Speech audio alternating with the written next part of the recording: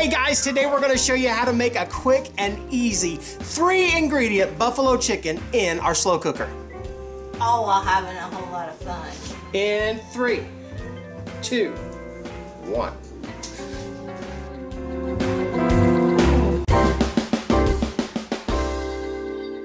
Guys, welcome back to my kitchen. We are here today to show you a very delicious three ingredient buffalo chicken slow cooker recipe sent to us by Crock Posse member Donna G. Hey Donna.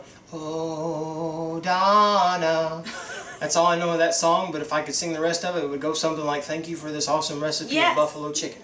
It was so funny. I um, made and tested this recipe last week, and Addie and Mikey were busy working on the deck, and all of a sudden, um, a little they didn't get it when I first made it. They got it during the leftover phase, and all of a sudden, I started getting all this. Hey.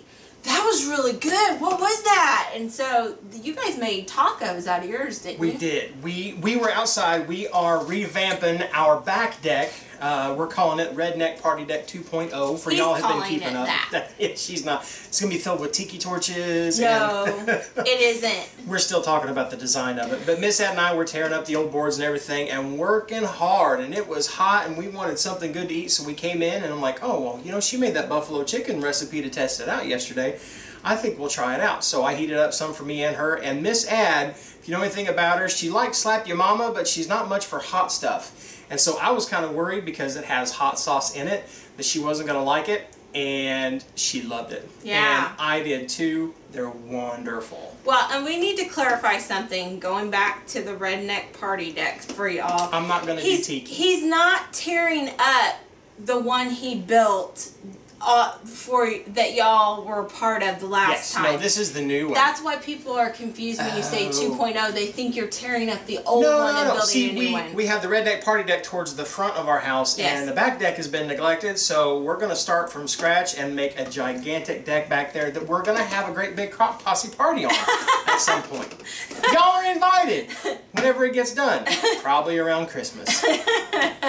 But anyway, back to the so, recipe. Yes, so this is three ingredients. We have lots of buffalo chicken recipes on RecipesThatCrock.com.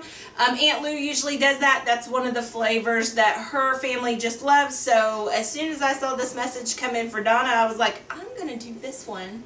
Um, Donna sent me a couple recipes that she said she likes doing low carb style. And so since that's something that our family does, I thought, okay, we're going to give this a try. Mm-hmm. And I apologize for our friend the fly. The building has been going on, and so the doors have been open, and There he is. There he is. There- Sorry. If I had some chopstick, I'd ch- maybe I can use my tongs. No, No. no, Never mind. it's real life, y'all. But anyhow, three ingredients. Here we go. So a pound and a half of boneless, skinless chicken, whatever you would prefer. So if you like boneless, skinless breasts, put them in there. Tenders. Um, we are using thighs because that's what we had. I like thighs, well, mainly just because we're a thigh family, but Uh-huh. also it kind of, especially with the buffalo chicken, it reminds me just of like chicken wings. Yeah, it has it has that kind of flavor, and so um, and that is a very good point because chicken wings aren't chicken wings. Chicken wings. Are Chicken dark wings are dark meat. Yes, so it does kind of it does uh, definitely do that flavor. So we've got a pound and a half in the six quart slow cooker. The original recipe on the website, we did it in a four quart slow cooker to let it cook four to six hours. Um, if you're using six quart, your time will probably be less because this is not really filling up that crock pot. So we've got uh, a pound and a half of boneless, skinless chicken down in the bottom. You just take an envelope of ranch. We are using creamy dill ranch. It's less carbs and we like that little pickle-like flavor in there. It adds a big deal to it. Yeah, you can use regular if you'd like.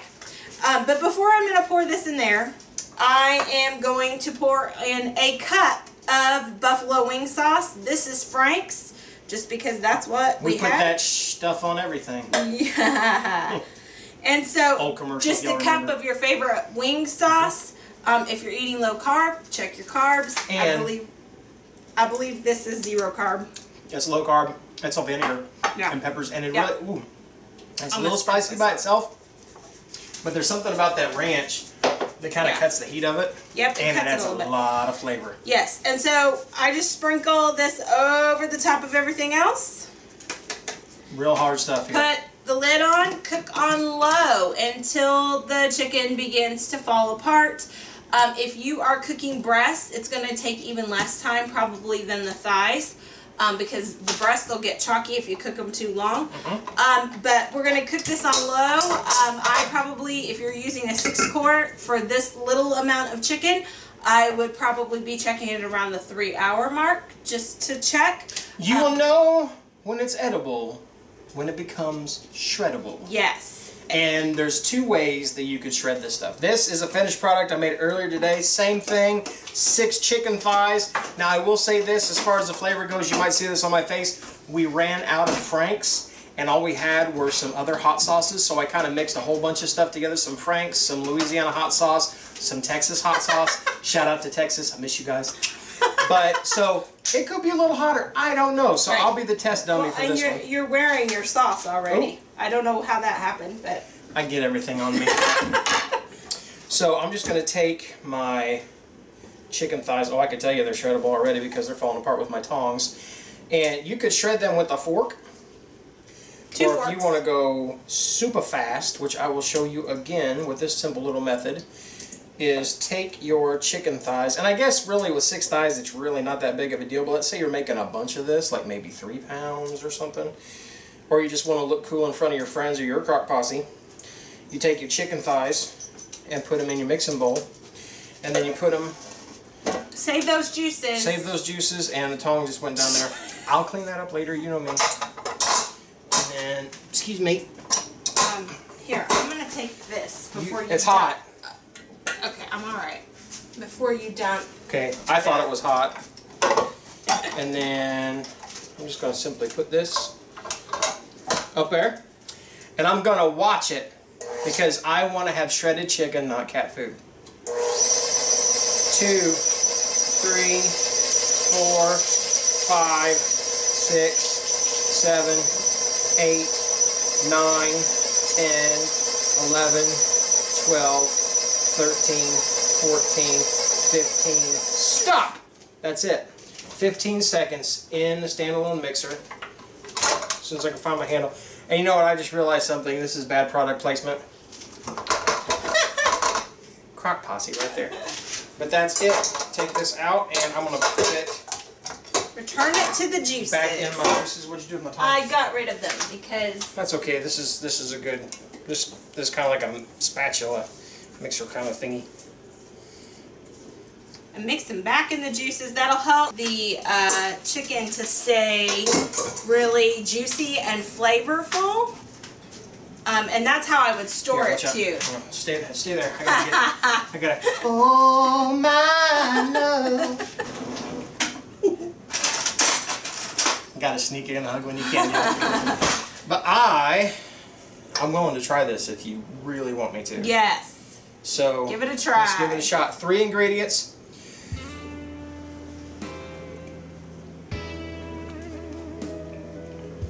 Is it hotter than usual? A little bit. but so good. Oh my goodness. Yes. Now, um, Donna was saying that she likes to serve this over a great big salad and then drizzle prepared ranch dressing over it. I just eat it as it is, shredded with whatever sides I'm having. Oh, mine in a low carb tortilla with some ranch dressing and some tomatoes. There you go. Or it's also good. I've also had it over uh, riced cauliflower. So that's something else that you could you could just serve it up all kinds of different ways. Um, but this is like super simple, super fast. Also freezer friendly. Like if you want to make up a big batch and then put some in the freezer so you'll have a lunch every once in a while. Uh, did that added heat add a little heat, dear? Just if you see my face getting red, I'm not just blushing because of the beautiful woman next to me. All But that's easy, pretty simple, huh? Yeah. And that's what we do around here. Sometimes it's simple and easy, just like our marriage. No. No, it, it that's never been simple. But you know what? It's just as hot. oh goodness. I want to thank you for watching another edition of Cooking Cris's Dishes with the Good Old Boy. And if you like what you saw down here, down there, we would like for you to click that little like button. And if you have not become a member of the Crock Posse, then please click the subscribe button and welcome to the family. And there's a little bitty bell next to the subscribe button. We call it my ding-a-ling. Click my ding-a-ling and we'll let you know exactly when we put something up anytime we do. And whatever you do, we want you to laugh often Eat good food. and speak life. Bye guys. Full of chicken. We're out of practice. A little bit. And three, two, one. Hey. Are you starting this one? Or? Yeah, it's been a couple weeks since we've done one of these. So. Yeah. Ready?